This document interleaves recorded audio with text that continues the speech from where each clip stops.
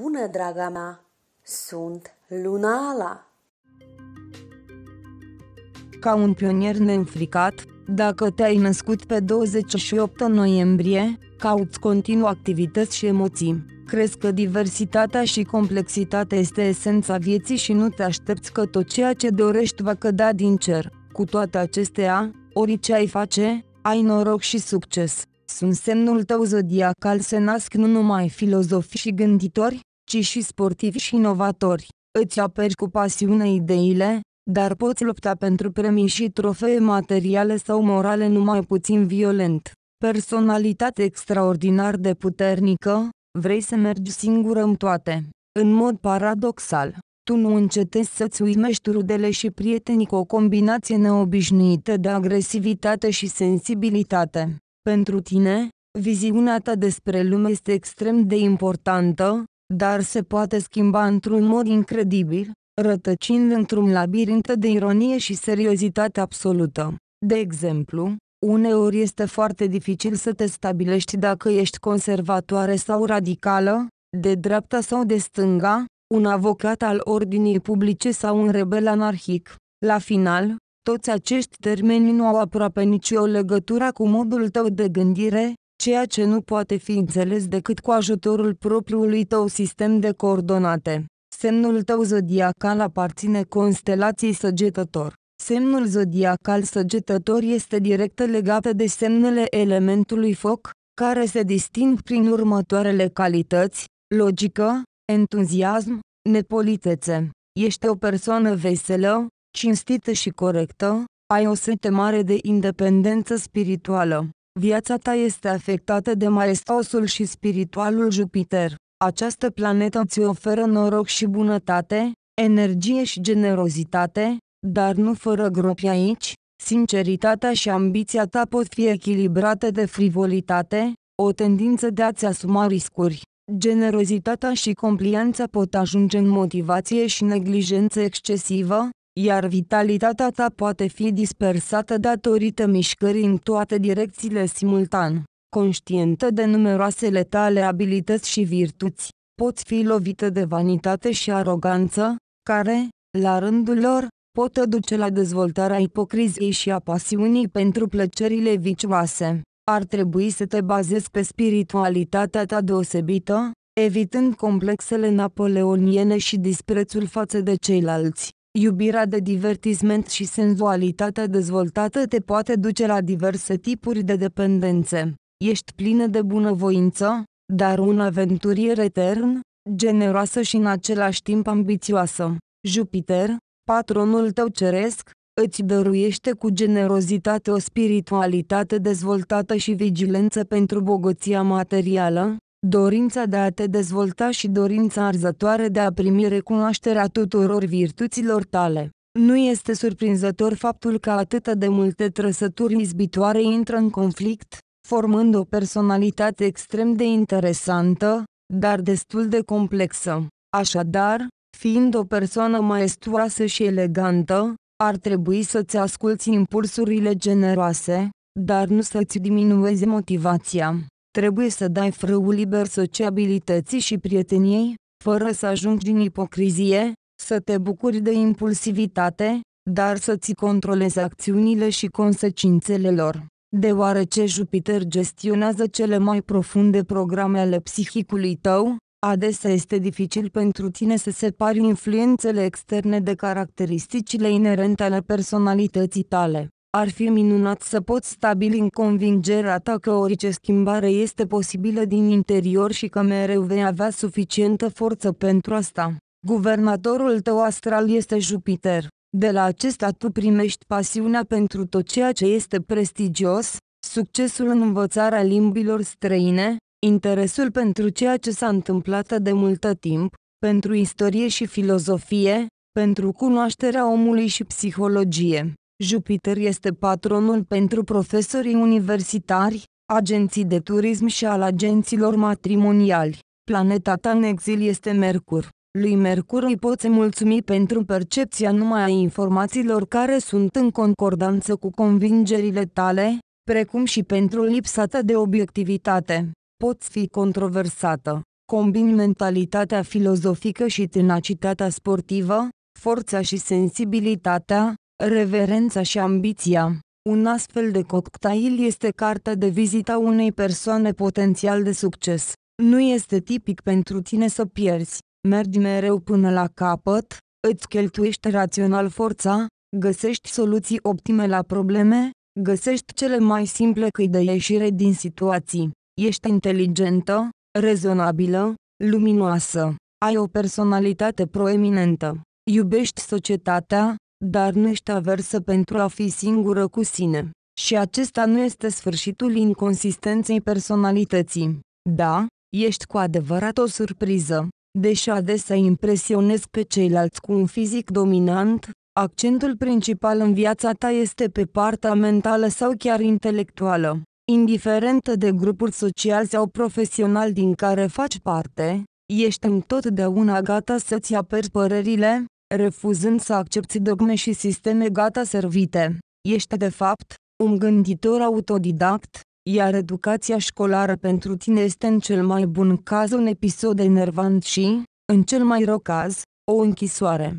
Ai o tendință puternică de a lua întotdeauna punctul de vedere opus, rezistând atitudinilor absolute și oricărei generalizări. Ai un simț al umorului foarte dezvoltat și folosești cu bună știință spiritul și ironia ca armă împotriva adversarilor, precum și pentru a clarifica și determina propriile tale păreri. Mai multe decât atât, cel mai adesea da impresia unei persoane extrem de serioase. În ceea ce privește sfera emoțională, te regăsești adesea atras în maelstromul propriilor pasiuni. Destul de des, poți avea hobby-uri romantice, dar tu ești și oferi constanță. Prietenia ta, din potrivă, este puternică ca o stâncă și este plină de conținut special. Cei care au avut de a face cu tine, își vor aminti multă vreme caracterul tău complex, dezechilibrat, rebel și contradictoriu, dorința ta de a face totul în felul tău. De exemplu, uneori poți fi incredibil de generoasă, iar alteori ești extrem de egoistă. Adesea bunătatea și sinceritatea ta sunt mai bine înțelese de animale sau copii mici la un nivel pur intuitiv decât toți adulții care te analizează critic. Iubirea ta față de natură este sacră și servește ca singurul refugiu de încredere împotriva eșecurilor și incertitudinii vieții. Probabil cel mai dificil lucru pentru tine este să te înțelegi pe tine însăți și să faci față complexelor și problemelor personale. De regulă, fierberea pasiunilor nu-ți permite să te privești mai obiectiv. Folosește munca precum un mijloc sigur de a evita cercetarea în lumea ta interioară. Este necesar să depui eforturi extraordinare pentru a realiza un echilibru între cele patru abilități ale percepției tale, inteligență, emoții, intuiție și sentimente. Doar atunci când realizezi acest echilibru, te poți împăca cu societatea și cu tine însăți. Te distingi față de alți nativi din săgetător prin astfel de trăsături speciale, ești sensibilă, amuzantă, interesantă, răbdătoare. Ești o persoană independentă, puternică. Nu accepti conducerea celorlalți. Trăiești după propriile reguli și nu depinzi de opiniile celorlalți. Ești creativă și polivalentă, îi captivezi cu ușurință pe ceilalți cu ideile tale și îi inspiri să le realizeze. Obișnuiești să fii lider în profesie și în relații. Nu tolerezi controlul și te străduiești pentru libertate. Cum afectează data de 28 noiembrie soarta ta? Ești curajoasă și independentă. Ești un prieten adevărat și tovarăș de încredere. În caz de adversitate sau probleme, cei care apelează la tine pot conta cu încredere pe ajutorul tău. Ești foarte mândră, respecti opiniile celorlalți, dar ai întotdeauna o viziune proprie în toate subiectele. Tu realizezi întotdeauna ce ai planificat datorită muncii grele.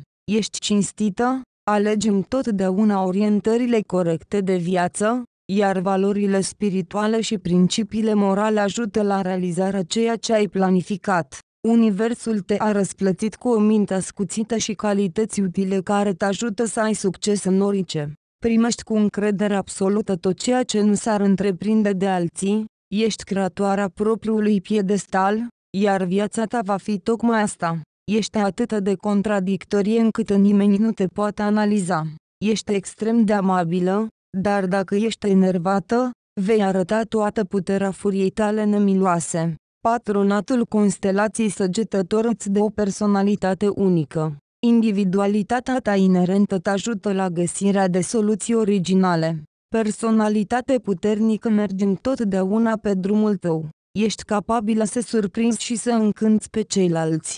Magnetismul tău născut îi face pe ceilalți să se supună. Uneori poate părea că superioritatea față de ceilalți se realizează prin atractivitate naturală, dar aceasta este o opinie eronată, deoarece rolul principal îl joacă aici intelectul și capacitatea ta de a nu recunoaște starea de spirit psihologică. În fața ta se deschid ușile întregii lumi. Te poți realiza singură în orice profesie. O trăsătură distinctivă a ta este dorința de a-ți apăra pozițiile și opiniile, nu ești pregătită să te supui dogmelor și conceptelor scrise. Mai mult, ești un fel de gânditor autodidact, nu recunoști sistemul oficial de învățământ, pentru tine este o pierdere de timp. Ești critică în judecățile tale, uneori chiar neîncrezătoare. Faptele comune sunt întotdeauna puse de tine sub semnul întrebării. Pentru a nu intra în dispute puternice care ar putea duce la scandal, folosești cu pricepere ironia. O folosești împotriva adversarilor tăi și în așa fel încât se pare că vorbești serios. Ai o natură pasională, ești amoroasă, predispusă la impulsuri romantice, dar iubirea ta este uneori viclană. În treburile amoroase ești mai degrabă apoasă, diluată, dar în ceea ce privește prietenia, totul aici este diferit. Poți aprecia sincer prieteni, iar natura ta contradictorie se reflectă în aceasta. Datorită acestui fapt rămâi mereu în memoria celorlalți. Mersul în aerul curat te inspiră, de aici îți atragi puterea și energia. Natura pentru tine este ca un refugiu împotriva dezamăgirii și eșecului. Dragoste și compatibilitate. Adesea te implici într-un vârtej al evenimentelor și relațiilor, uneori romantice, dar îți este dificil să menții echilibrul. Lei și berbecul sunt cea mai potrivită pereche pentru tine, dacă uniunea are loc înainte de vârsta de 28 de ani, vei putea coexista în condiții egale, fără a vă suprima libertatea reciprocă. În astfel de uniuni nu există loc pentru gelozie, împreună veți forma un tandem puternic, inspirându-vă reciproc pentru noi realizări. După vârsta de 30 de ani, singura opțiune viabilă pentru tine rămâne un săgetător.